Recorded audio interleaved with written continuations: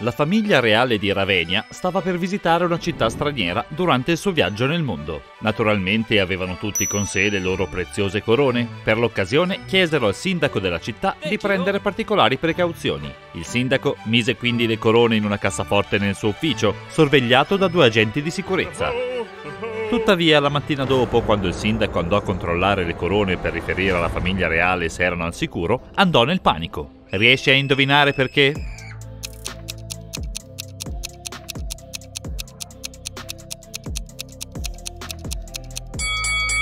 Perché le corone nella cassaforte non sono quelle vere. La prima corona ha un cartellino del prezzo, la seconda è rotta, mentre alla terza manca una pietra preziosa. Questo non sarebbe stato possibile se fossero state le corone originali.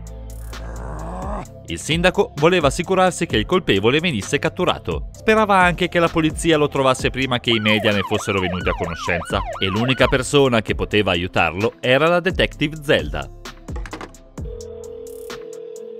La chiamò subito. La detective arrivò nel suo ufficio e ispezionò la stanza, accorgendosi di una cosa che sarebbe stata utile nelle indagini.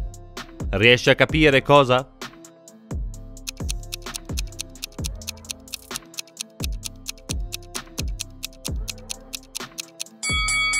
C'è un pezzo di carta sotto una delle corone finte. Il ladro aveva lasciato un biglietto. La detective Zelda lo lesse. Caro sindaco, sono molto deluso da lei. Questo incidente ha dimostrato quanto lei sia incapace di fornire conforto e sicurezza ai suoi ospiti, così come ai suoi concittadini. Potrei quindi restituirle le corone se mi pagasse un'enorme, e dico enorme, somma di denaro. Si segni le mie parole e conti quello che dico nella lettera su questo tema.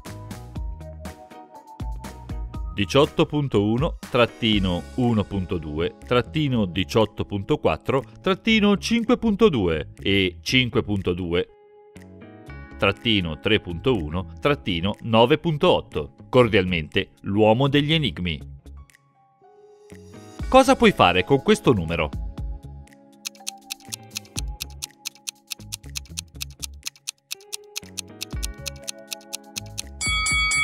Il sindaco pensò subito fosse un numero di telefono, lo chiamò, ma proprio come sospettava la detective Zelda, non rispose nessuno. In una delle ultime frasi della lettera, l'uomo degli enigmi aveva sottolineato segni, parole, conti e lettera. Deve essere un indizio. Il numero prima del punto indica quale parola cercare nella nota e il numero dopo il punto ti dice quale lettera ti serve in quella parola. Ad esempio, 18.1 significa che devi trovare la diciottesima parola, che è conforto. La lettera che ti serve è la prima, la C. Se lo fai per tutti i numeri, ottieni Caffè Est. Prima di recarsi al bar, la detective Zelda decise di controllare il filmato notturno delle telecamere di sicurezza. Il sindaco la portò nella stanza di sorveglianza in cui c'erano tre diversi monitor, ognuno dei quali mostrava la stanza da diverse angolazioni.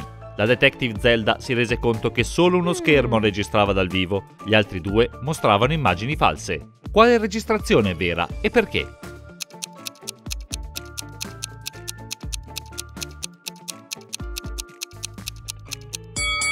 Ricordi com'era la stanza quando la detective Zelda la stava ispezionando?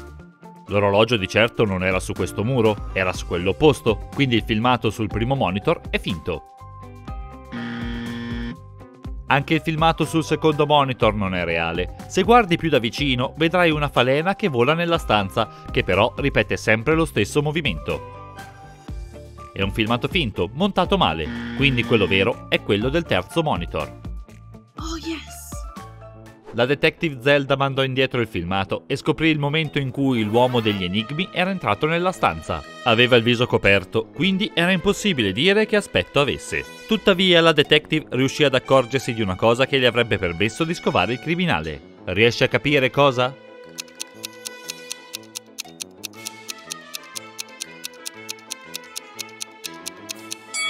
Se guardi nell'angolo in basso a sinistra, vedrai qualcuno entrare nella stanza e andarsene velocemente mentre l'uomo degli enigmi ruba le corone. Potrebbe significare che l'uomo degli enigmi aveva un complice? Per scoprirlo, la detective Zelda interrogò tutte le guardie di sicurezza che avevano svolto il turno di notte. La prima guardia, George, riferì di essere stato di guardia davanti alla porta. L'unica volta che aveva lasciato la sua postazione era stata per una breve pausa e andare in bagno. La seconda guardia, Joe, disse di essere stata tutta la notte davanti alla porta dell'ufficio del sindaco e l'unica persona che si era presa una pausa era stata George. Anche la terza guardia, Brian, disse che era stato sempre vicino alla porta. La detective Zelda capì subito che solo uno dei tre diceva la verità, mentre gli altri due mentivano. Chi è il bugiardo?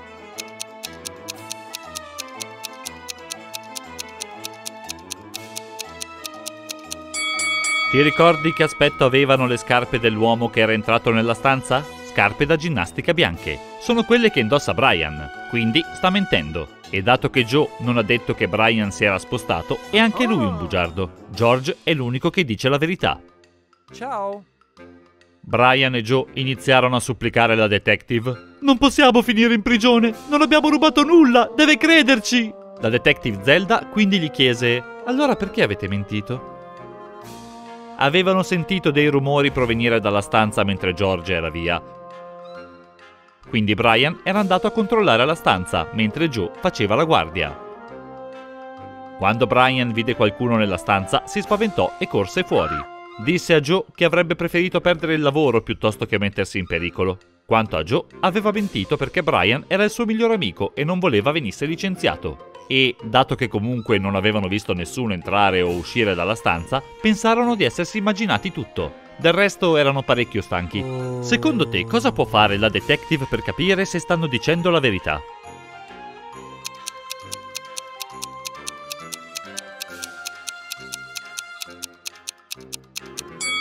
Può controllare i filmati di sorveglianza della strada fuori dall'edificio per confermare che nessuno sia entrato o uscito. La detective vide che nessuno era passato di lì, quindi giunse alla conclusione che Brian e Joe stavano dicendo la verità. Yeah. Decise quindi di controllare ancora una volta l'ufficio per capire come fosse entrato l'uomo degli enigmi. Dopo un po' riuscì a individuare un'altra porta nascosta. E tu riesci a vederla?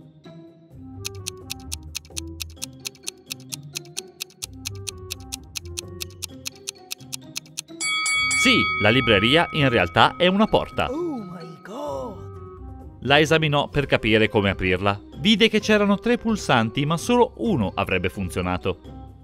Se avesse premuto il pulsante sbagliato, la porta si sarebbe bloccata per sempre e non avrebbe capito dove portava. Quale pulsante avrebbe dovuto premere?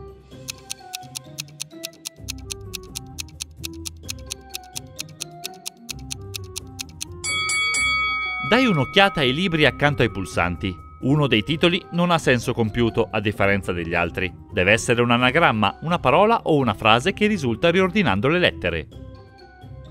Se metti in ordine le lettere, in effetti, leggerai il secondo pulsante. Mm. La detective Zelda lo premette e la porta della libreria si aprì. La donna vide uno stretto corridoio con scale che scendevano verso il basso. Fece un passo e le si chiuse dietro la porta. Cercò di aprirla con la forza, ma non ci riuscì. L'unica cosa che poteva fare era scendere le scale. Finì in una fossa sotterranea. Dentro non c'era nient'altro se non una pala e un cartello che le mostrava cosa c'era attorno alla fossa. Nel buco a sinistra c'erano serpenti velenosi, la fossa sulla destra era piena di gas velenoso e proprio sopra la sua testa c'era un cane indemoniato con i denti aguzzi. Cosa avrebbe dovuto fare?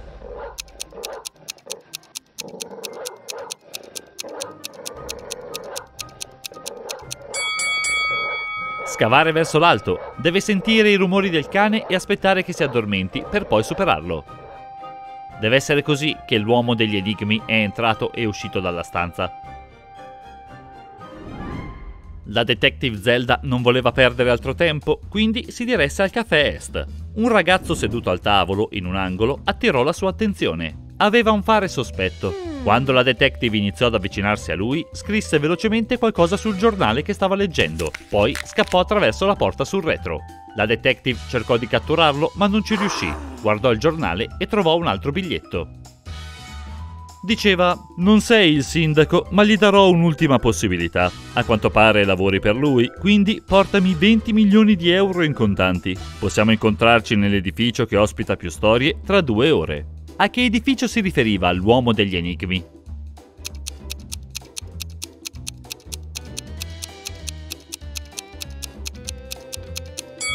alla biblioteca.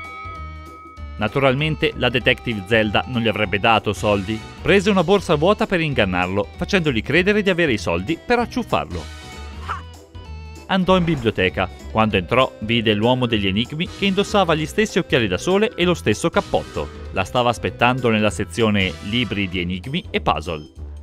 Poi, all'improvviso, qualcuno la spinse accidentalmente, facendole cadere la borsa che si aprì. Così l'uomo degli enigmi vide che era vuota e che era solo un piano per catturarlo. Scappò via.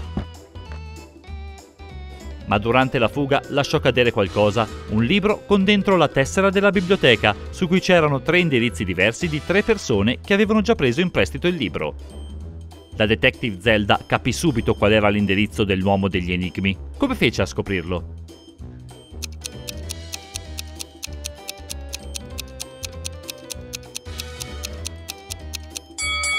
Ricordi il biglietto che l'uomo degli enigmi le aveva scritto al bar? Il primo indirizzo è stato scritto dalla stessa persona. La detective Zelda e due agenti di polizia fecero irruzione nell'appartamento dell'uomo degli enigmi. Trovarono le corone, ma il criminale era scomparso. Per qualche ragione, la detective Zelda aveva la sensazione che lo avrebbe incontrato di nuovo.